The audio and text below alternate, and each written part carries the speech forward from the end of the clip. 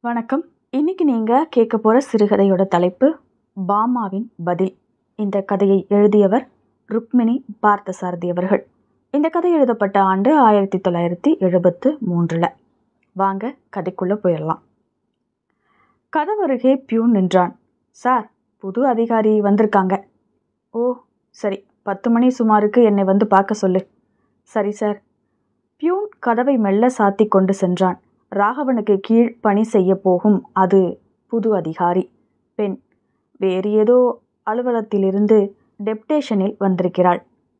பெண்ணோ ஆணோ ஆஃபீஸ் வேலை சரியாய் நடந்தால் சரி என்று ராகவன் நினைத்து கொண்டான். மணி பத்தடித்து ஓய்ந்தது. அதன் எதிரொலி போல் மின்சார மணி ஒலித்தது. பியூன் தலையை உள்ளே நீட்டினான். அதிகாரி வந்திருக்காங்க. உள்ளே வர சொல்லு. என்றவாறு அவன் எழுந்து நின்றான். என்னதான் சிறிய அதிகாரி என்றாலும் பெண் அல்லவா? நின்றவன் உள்ளே வந்தவளை கண்டதும் சிலை என சமைந்து விட்டான். அவள் பாமா. பாமாவேதான். அவள் முகத்தில் உணர்ச்சிகளின் சாயலே இல்லை. நான் தான் மிஸ்ஸஸ் பாமா என்று தன்னைத்தானே அவள் அறிமுகப்படுத்தி கொண்டாள். தெரியாதா அவனுக்கு? என்னதான் பதினைந்து வருடங்களுக்கு முன் பிரிந்து விட்டாலும் இரண்டு வருட காலம் தன்னோடு இல்லறம் நடத்தியவளை மறந்துவிட முடியுமா? எத்தனை மனக்கசப்போடு அவர்கள் பிரிந்தார்கள்? அதையுமா அவள் மறந்து போய்விட்டாள்? அவனை அடையாளம் கண்டு கொண்டதாக கூட அவள் காட்டிக்கொள்ளவில்லையே அவனுடைய இதயத்தில் கன நேரம் கோபம் பொங்கிற்று. இப்படி கூடவா ஒரு பெண் கர்வத்தில் உருவாயிருப்பாள்? ஆனால் அவள் முகத்தில் கர்வத்தின் முத்திரையை காண முடியவில்லை. பின் அதென்ன உணர்ச்சி? அல்லது உணர்ச்சியின்மை? மரமா அவள்? ஜடபொருளா சரி அப்படி அவள் ஒரு திரையை இருக்குமிடையே நிரந்தரமாக இறக்கிவிட விரும்பினால் அவன் ஆட்சேபிக்கப் போவதில்லை. என்றோ அவளை பிரிந்தாகிவிட்டது. இப்போது அவர்கள் நண்பர்கள் கூட இல்லை அந்நியர்கள். ஒருவரை ஒருவர் குத்தி பிழிந்துவிட்டு வெவ்வேறு வாழ்க்கை பாதைகளில் சென்றுவிட்ட அந்நியர்கள்.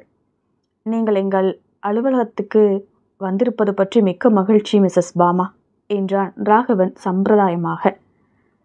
எனக்கும் இதில் மிக்க மகிழ்ச்சி மிஸ்டர் ராகவன் என்றாள் அவள். குரலில் தெளிவு இனிமை. எத்தனை வருடங்களாகிவிட்டன இந்த குரலை கேட்டு. இதயத்தில் நீர் பூத்த நெருப்பாய் சுடும் ஏதோ ஒரு ரணத்தை எதிர்பாராமல் குத்திவிட்டார் போல் இருந்தது. அறிமுகம் தீர்ந்தது. அவள் போய்விட்டாள். தன்னையும் அறியாமல் அவன் பெருமூச்செறிந்தான். மிஸ்ஸஸ் பாமா. ஒரு காலத்தில் அவள் பாமா ராகவனாக இருந்திருந்தாள்.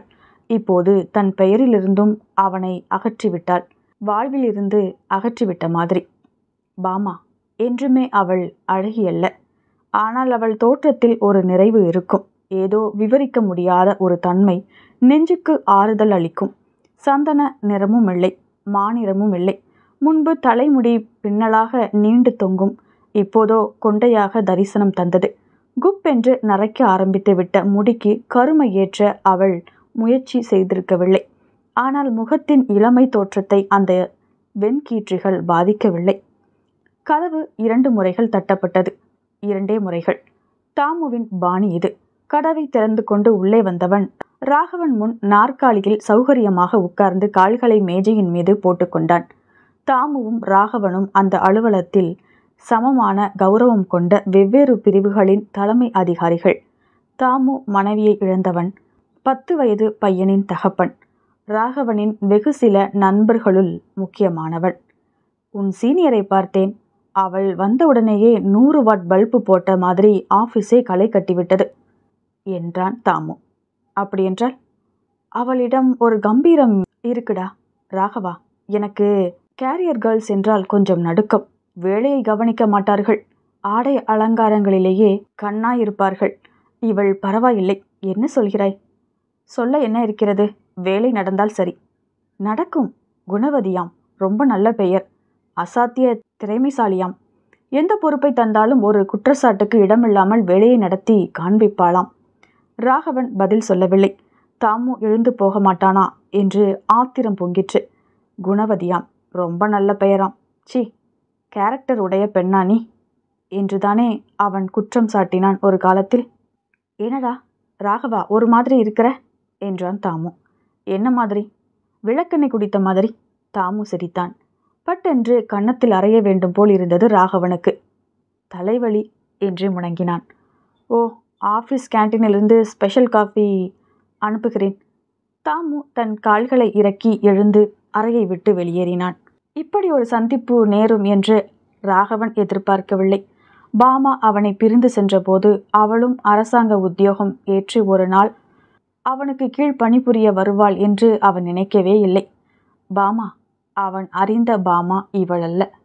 அவள் ராகவன் என்றுமே பொறாமையில் உருவமாக இருந்தவன். பாமாவை அவன் மணந்தபோது அவள் உடலை உயிரை மனதை இதயத்தை எல்லாவற்றையுமே விலை கொடுத்து வாங்கிவிட்டதாகத்தான் நினைத்தான். அவள் தன் உடன் பிறந்த அண்ணன் தம்பியோடு சற்று அதிக நேரம் பேசி கொண்டிருந்தாலும் அவன் மனம் பொறுக்க மாட்டான். உனக்கு உன் அண்ணன் தான் முக்கியம். உன் தம்பி மேல்தான் பாசம். அவர்களுக்கெதிரே என்னை அவமானப்படுத்த வேண்டும் என்று என்னோடு பேசாமல் இருந்தாய் என்பான். பாமா இயற்கையாகவே கலகலப்பான குணமுடையவள். எதை சொன்னாலும் பேச்சில் ஹாஸ்யம் இழையோடும். சிரிப்பொளி இன்னிசையாய் வெள்ளி மணிகளை சேர்த்து குலுக்கினார் போல் சிதறும். உண்மையில் அந்த சிரிப்பு அவளுடைய மன பரிசுத்தத்தின் சான்றுதான். ஆனால் அதை அப்படி காணும் குணம் ராகவனுக்கில்லை. அவள் முகம் யாரையாவது கண்டு சிநேக பாவத்தோடு மலர்ந்தால் அதை அவள் தனக்கு செய்யும் துரோகமாகவே அவன் நினைத்தான். என்றாவது சமையல் நன்றாக அமையவில்லை என்றால் ஏன் உன் அத்தை பெண்ணும் அவள் கணவனும் வந்திருந்தபோது நன்றாக செய்தாயே? வருந்தி வருந்தி உபசரித்தாயே? அந்த தடியன் ஆஹா அபாரம் என்று புகழ்ந்தபோது வாயில் முப்பத்தி ரெண்டு பற்களும் தெரிய சிரித்தாயே? இன்று எங்கே அந்த திறமை? என்பான். அவனுடைய நண்பனின் குழந்தைக்கு ஆண்டு நிறைவு விழா என்று அழைப்பு வந்து கணவனுடைய கௌரவம் குறையக்கூடாதே என்று அவள் கவனமாக பரிசு வாங்கினாள். அவன் முகத்தில் எள்ளும் கொள்ளும் வெடிக்கும். அவன் குழந்தை மேல் இதென்ன பாசம்? என்று வார்த்தைகளில் நஞ்சை கலந்து கொட்டுவான். அவள் சற்று கவனமாக உடுத்தி கொண்டாள். யாரை மயக்க ஊர்வசி வேஷம் என்பான். பாமா பொறுத்துத்தான் வந்தாள். ஒரு நாள் பொறுமையின் எல்லை கடந்து விட்டது. ரணம் வெடித்து உதிரம் இதயமெல்லாம் வியாபித்து விட்டது. அன்று சுமார் நாலு மணிக்கு அவளுடைய பெரியப்பா பிள்ளை அவள் அண்ணன் அவளை பார்க்க வந்திருந்தான். சிறு வயதில் இவர்கள் இல்லத்தில் வளர்ந்தவன். அந்த நினைவில் அவன் அழகழகான களங்கமற்ற எத்தனையோ சிறு சம்பவங்களை நினைவு கூர்ந்து சொன்னான். அப்போது தாங்கள் அறிந்தவர்களை பற்றி சுவாரஸ்யமாக செய்திகளை ஹாஸ்யத்தோடு விவரித்தான். அவள் வெள்ளை மனதோடு சிரித்தாள். தன் சகோதரனுக்கு பணிவிடை செய்யும் நிறைவோடு அவனுக்கு சிற்றுன்றி அளித்து உபசரித்தாள். ராகவன் வீடு வந்தான். தன் மனைவியோடு யாரோ பேசிக் கொண்டிருந்ததை கண்டு முகம் கருத்தது. சகோதரன் விடை பெற்று கொண்டதும் கணவனுக்கு சிற்றுண்டி எடுத்து வந்தாள் பாமா. அதை வெறிக்க பார்த்து கொண்டே அவன் ஏது எனக்கு கூட மீதம் இருக்கிறதா? உன் புதிய சிநேகிதருக்கு கொடுத்த மிச்சமா இது? என்றான். என்னது? அவள் அடிப்பட்ட பெண்மையின் வழியோடு கத்தினாள். என்ன சொன்னீர்கள்? அவன் என் அண்ணன். அண்ணன். சி வெட்கமாக இல்லை. உனக்கு கொஞ்சமாவது கூச்சம் இருந்தால் இப்படி அவனோடு அரட்டை அடித்திருப்பாயா? இப்படி பேசாதீங்க. இது நன்றாக இல்லை. உன் நடத்தையை விடவா? கேரக்டர் உடைய பெண்ணானி. அவள் உடனே பதில் சொல்லவில்லை. உணர்ச்சிகளின் கொந்தளிப்பில் பேச்சு எழவில்லை. குரல் வந்தபோது நிதானமாக சொன்னாள். உங்கள் பேச்சு விகாரமாக இருப்பதில் ஆச்சரியமில்லை. உலகத்தில் உள்ள மிகப்பெரிய சாக்கடை உங்கள் மனதில் இருக்கிறது. மறுநாள் காலை தன் உடைமைகளோடு அவள் கிளம்பிவிட்டாள். போகும் முன் நமக்கிடை இனி எந்த உறவும் இல்லை என்றாள். இப்படி நீ செய்வதே நான் உன் மீது சந்தேகப்பட்டது நியாயம் என்பதை நிரூபிக்கிறது. என் மேல் அன்பு இருந்தால் நீ இப்படி கிளம்புவாயா? என் அன்பை உங்கள் வார்த்தைகள் கொன்றுவிட்டன. பெண்களிடம் உங்களுக்கு நம்பிக்கை இல்லை மதிப்பில்லை. உங்களைப் போன்றவர்கள் மனம் புரிந்து கொள்வதே மன்னிக்க முடியாத குற்றம். அதுதான் அவள் சொன்ன கடைசி வாக்கியம். வெகு நாட்கள் அவன் பொறுத்து பார்த்தான். அவள் மன்னிப்பு கேட்டு கெஞ்சி கதறிக்கொண்டு அவனிடம் வருவாள் என்று. வந்தால் அவளை விரட்டி அடிக்க வேண்டும் என்றும் தீர்மானித்திருந்தான். ஆனால் அவள் வரவில்லை. அவள் ஏதோ வேளையில் அமர்ந்து விட்டாள் என்ற செய்தி கிடைத்த போதுதான் அவள் இனி வரவே மாட்டாள் என்று அவன் புரிந்து கொண்டான். வருடங்கள் மறைந்தன. அவன் மனதில் பாமாவின் மீது பொங்கிய வெறுப்பும் கோபமும் குறைந்தாலும் பூரணமாக மறையவில்லை. தான் செய்தது தவறோ என்று சிந்தித்து பார்க்கும் பணிவு அவனிடம் இல்லை. தன் இல்லற வாழ்க்கை முறிந்து போனதற்கு அவன் அவளையே முழு பொறுப்பாளியாக்கினான். அவன் மறுமணம் செய்து கொள்ளவில்லை. ஒரு முறை நான் இல்லற வாழ்வில் புகுந்தேன். தோற்றுவிட்டேன். தோல்வியடைந்தாலும் மறுபடியும் முயன்று பார்க்க இது என்ன விளையாட்டா? காலம் கரைந்தது. அவனிடம் மெல்ல மெல்ல ஒரு முதிர்ச்சி தோன்றியது. தன்னை சுற்றியுள்ள பரந்த உலகமே தனக்கு பாடம் கற்பிப்பதாக அவன் உணர்ந்தான் எத்தனையோ முறைகளில் நண்பர்களின் வீட்டுக்கு செல்வான். அவர்களுடைய மனைவியர் முகமும் இன்முகம் காட்டி அக்கறையோடு சிற்றுண்டி அளித்து சிரித்து பேசி உபசரிப்பார்கள். அதில் களங்கமே இல்லை என்பது அவன் மனதுக்கு உள்ளங்கை நெல்லிக்கனியாய் தெரியும். இதே நிலையில்தானே பாமாவை நான் சந்தேகப்பட்டேன் என்ற எண்ணம் தோன்றி மறையும். அது விட்டு செல்லும் வழியை தாங்க மாட்டாமல் உடல் தள்ளாடும். ஆனால் பாமாவின் மீது அவன் மனதில் அடித்தளத்தில் கோபமும் வெறுப்பும் இருக்கத்தான் செய்தன. இந்த ஒன்றரை ஆண்டுகளாக அலுவலகம் சீராக நடைபெற்று வந்தது. பாமாவின் திறமைதான் எத்தகையது? மேலதிகாரிகளிடமிருந்து பியூன்கள் வரையில் எல்லோரிடமும் அவள் இன்முகம் காட்டி இன்சொல் பேசி நடந்து வந்தாள். அவளிடம் அது என்னதான் சக்தியோ? ஒரு பியூன் தகராறு கூட இல்லை. தாமு ஒரு நாள் ராகவனிடம் சொன்னான் பாமா இருக்கிறாளே மிஸ்ஸஸ் பாமா என்று சொல்.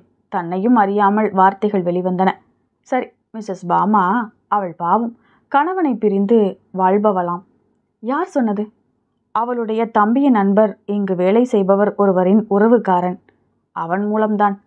வம்பு பேச்சு இருக்கிறதா தாமு? பாமாவின் குடும்ப விஷயங்களை பற்றி நமக்கு என்ன? உன்னோடு டிஸ்கஸ் பண்ணினால் குற்றமில்லை ராகவா. நிறைய வருஷங்களுக்கு முன்பே கணவன் மனைவி பிரிந்து விட்டார்களாம். இப்படி ஒரு குணவதியை பிரிந்தானே அந்த மடையன்? அவன் மூளையைச் சொல். குணவதி. ராகவனின் உதடுகள் அசைந்து துடித்தன. தாமு தொடர்ந்தான். பொதுவாகவே ஒரு பெண் நல்ல பெயர் எடுப்பது என்பது கஷ்டமான சாதனை. உலகத்தின் நாக்கு விஷனாக்கு இப்படி ஆஃபீஸ் உத்தியோகம் பார்த்து ஆண்கள் மத்தியில் வேலை செய்யும் ஒரு பெண் நல்ல பெயர் எடுத்திருக்கிறாள் என்றால் அது அக்னி பரீட்சையில் வென்ற மாதிரிதான். இதயத்தில் தோன்றிய வழியை தாங்க முடியவில்லை.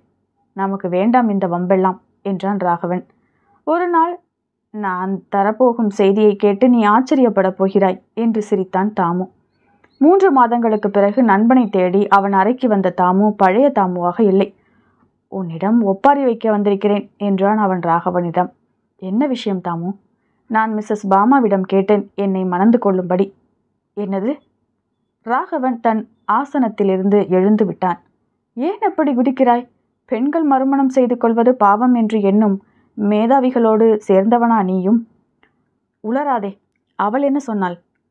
அவள் மறுத்துவிட்டாள் மன வாழ்க்கையை அவள் விளையாட்டு என்று நினைக்கவில்லையாம். ஒரு முறை தோற்றதனால் மறுமுறை முயன்று பார்க்க இப்படி நான் அவளை கேட்டதே அவள் மனதை மிகவும் வேதனைப்படுத்துகிறதாம். ராகவன் கால்கள் தள்ளாட உட்கார்ந்திருந்தான்.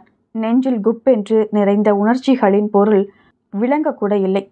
பாமாவும் அவனைப் போலவே தான் நினைக்கிறாள். மனவாழ்வை பற்றி நிஜத்தில் இத்தனை ஒற்றுமை உடைய இருவர் மனஸ்தாபங்களை வளர்த்து கொண்டு அவற்றை விஸ்வரூபமாக்கி கசப்போடு பிரிந்து தனிந்து வாழ்வது விதி எப்படி சிரித்து விட்டது? சட்டென்று அவனுள் ஏதோ வெளிச்சம். பாமாவை அவன் உடனே தனித்து சந்தித்து மனதை திறந்து காட்டிவிட வேண்டும். தாமுதான் சொன்னான் என்றான் ராகவன். உண்மைதான்.